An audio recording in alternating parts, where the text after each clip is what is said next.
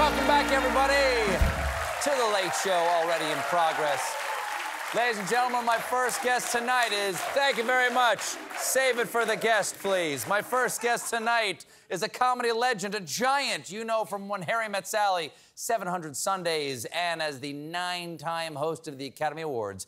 He now stars on Broadway in Mr. Saturday Night. Please welcome back to the Late Show, Billy Crystal.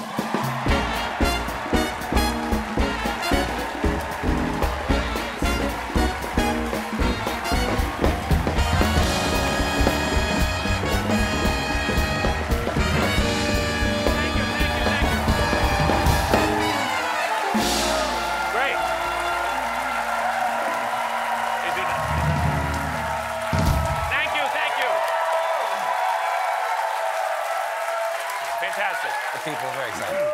Good, good to see you again. Great to see you. Now, uh, congratulations on uh, Mr. Saturday Night. I mean, five Tony nominations, including Best Musical. How does it How does it feel? How did it feel after COVID to be back on stage live in front of the, the people that you love so Well, it was crazy because, like, what you have, the, the, the masks on everybody, it looked like a Howard the Duck convention in the beginning. Everyone with a white mask, but it is what it is, and, it, and you know, and we, we've gotten through it. It was great. I'm looking forward to. We're still we still have masks here. We're still trying Yeah. to look what with the BA5 or whatever they're naming the new one. So we're Yeah. being a little cautious here. I can't wait to be able to see their, their faces again because there is no greater audience in the world than the audience of the Ed Sullivan Theater. Right No, it's here. true. And that's only as a segue. I'm only pandering. Thank you. You've done your job. You've done your job.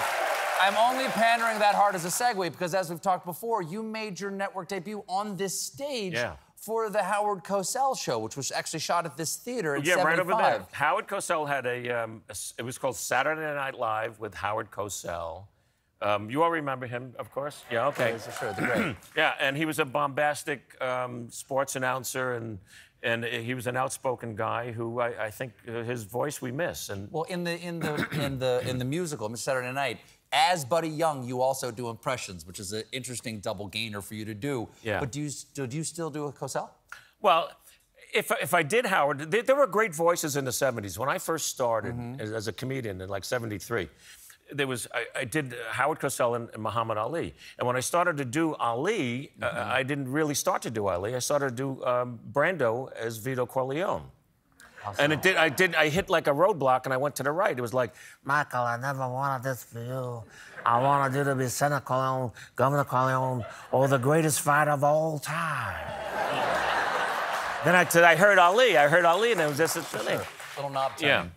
But Howard, Howard was just, you know, uh, I'm nasally, so I could get into him and get into that kind of rhythm that he had. And I thought um, if he was working today, he'd be covering the January 6th committee hearings. If only. We just heard from Cassidy Hutchinson, right there. This may be the first time the Secret Service wrestled the president to the ground to keep us safe from him. So, uh, it made fun. Timeless. Great. Thomas, great voices from the 70s. What other great voices from the 70s? Oh, well, uh, this was another great voice. Um, and this is guys I used to do, but now you can replug them in and they're, they're, they're, suddenly they're, they're, they're apropos. Um, the Mueller report, when you saw Mueller before the report, with that jaw that he had and that look that he had, he was like out of a 40s movie where he'd be the, the, the warden in the prison, you know, fry him, we're gonna fry him. Instead, he was, it was bad. It was like Yeah, boring. It was dead. It was just like a fish. Peter Falk as Columbo would have been a great interviewer of all of those those dopes that we were interviewing. You know, Uh, Mr. Manafort, I don't, I just don't understand, Mr. Manafort.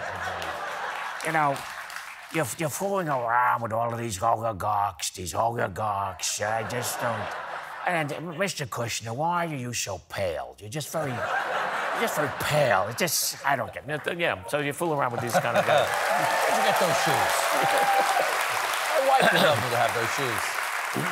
I was one thing I missed from the 70s that I, I wish there were consequences for things. We had Woodward and Bernstein on the other night, and that's what they were talking. There were consequences back in the 70s. Yeah, and I watched that show. I thought it was a brilliant show. Oh, thanks. And I'm huge fans of those, uh, of, of both of them, and of course you. So uh, now I'm pandering.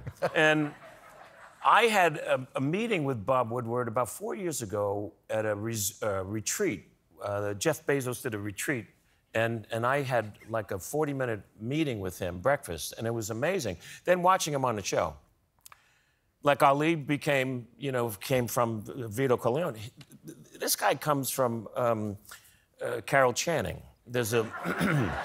Bob Woodward comes from Carol Channing. Yeah, because when when you you try to do Bob Woodward, you you hear it and it, it's very slow and and he's got this rather large mouth and when he talks about uh, uh, Nixon and and Trump, it's very interesting um, uh, to to see the difference between the two of them. Nixon, Richard Nixon was crazy. Donald uh, Trump is really crazy. So that's it's pretty good. We have to take a quick break, but when we come back, I will ask Billy how he fell in love with comedy. Stick around.